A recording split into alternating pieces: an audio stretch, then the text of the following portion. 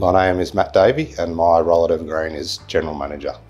So as far as sustainability goes, we're trying to create a full circle system here at Evergreen where we reuse every product that we produce, so we've got nothing going to waste. That's starting from the large aggregates down to the sand and the water.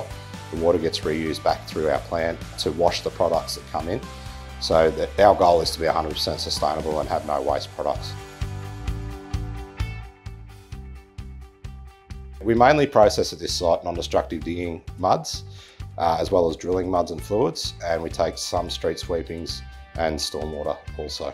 We designed this plant to have a really large storage capacity of, of over 500,000 litres. Um, the, the concept of designing uh, such a large storage area was to make sure that we always have storage for our customers and to get the trucks in and out very quickly. Uh, so there's no downtime, no waiting time on site. On a daily basis, currently we're processing about 200,000 litres of waste per day, uh, but we're slowly increasing that uh, as the business grows to hopefully a maximum of 500,000 litres a day.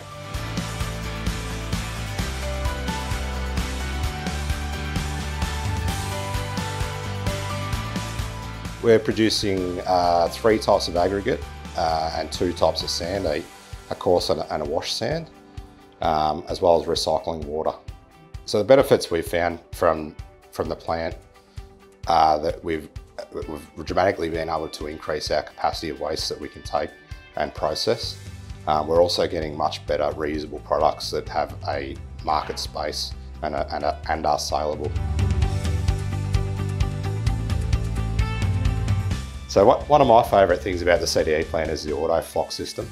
Uh, we found initially we were trying to manage the chemical side of the plant manually and having a lot of trouble with that. Um, once we got to understand and, and really embrace the AutoFloc, a lot of those problems we were having early on went away and we just let the, the AutoFloc system do what it's designed to do and control that chemical dosage. Working with CDE was was a really great experience. The, the local team uh, here based in Australia were very supportive uh, of all of our needs, especially during the commissioning phase of our plant.